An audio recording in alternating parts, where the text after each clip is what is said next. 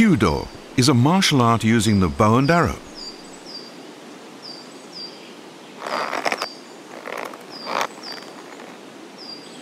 But that's where the similarity with modern archery ends, since hitting the target isn't the main point of this art.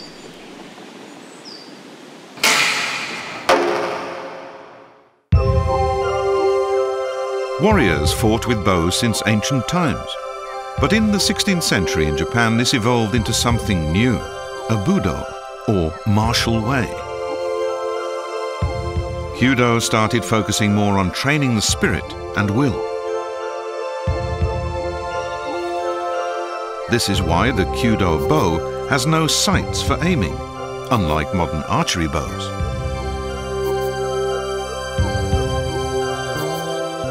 The standard Kyudo bow is 2.21 meters long. Arrows are fired at a target 28 meters away. Bowing is an essential part of the formal sequence of movements in preparation for shooting the bow.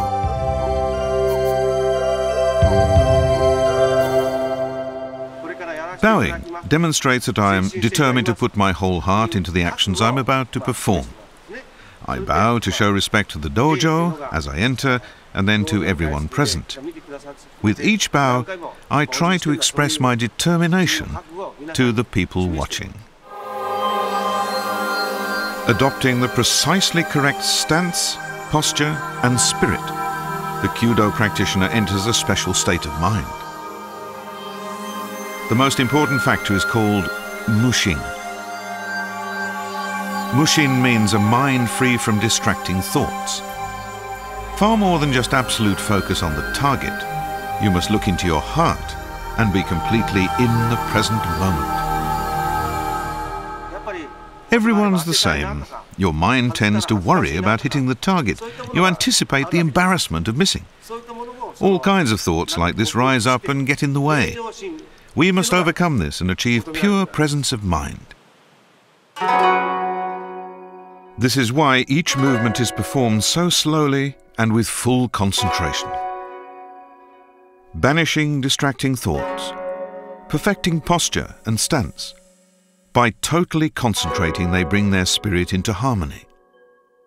In this way, the mind enters emptiness.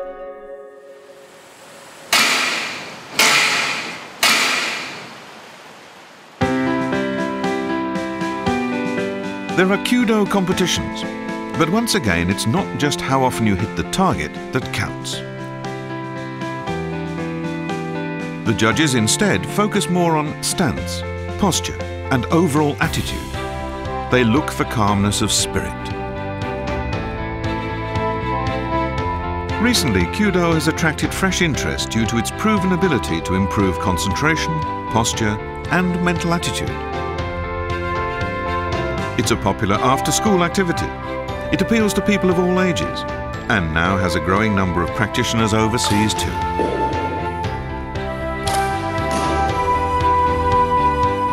Training beauty in movement, meditative calm in the drawing of the bow. The spirit of Kyudo has an enduring appeal.